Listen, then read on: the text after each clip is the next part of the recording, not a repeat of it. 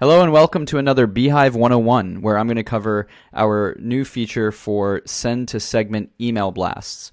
We've had a lot of demand for users asking to be able to send a uh, communication specifically to one group of subscribers, maybe from a specific platform for a specific promotion, users who have taken one action or another, or have some sort of data about them. Uh, up until now, we've only allowed the ability to send uh, blasts or you know email sends through the main editor to your entire list, and um, that is changing today.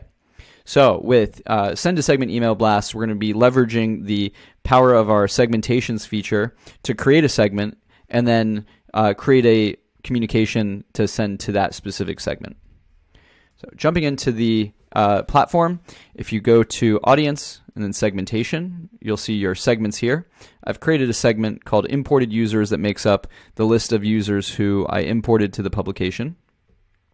If we click into it, we'll see now that we have this blasts column here.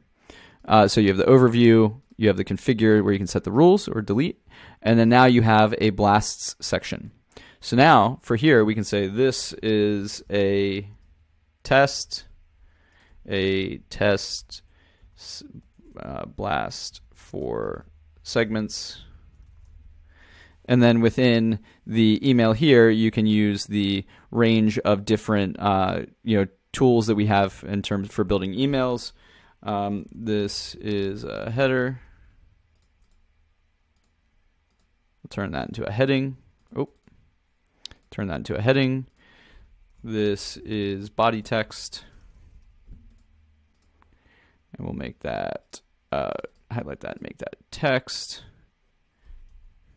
And we'll hit preview. So you can see that this is the specific. It looks just like a an email from the newsletter. Uh, in this case, you can't actually post to the actual, uh, you know, your timeline because it's only for a specific segment. But if you hit save and exit, um, it's going to show you the preview here. You can go to all blasts. You're going to have it here on your list. You can view it, edit it, um, and then from here, schedule it for a specific time and hit publish, and that'll send to those users. Once it sends, you'll be able to then click and view uh, performance. So if we hit publish now, you'll see the recipients, the opens, clicks, etc., similar to how you would for a normal message. And uh, there you have it. That's going to be our blast feature.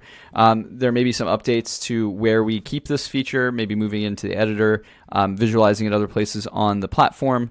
But uh, that is to be seen. We'll make an update if that changes, but um, this is how you're gonna you're gonna send to segment.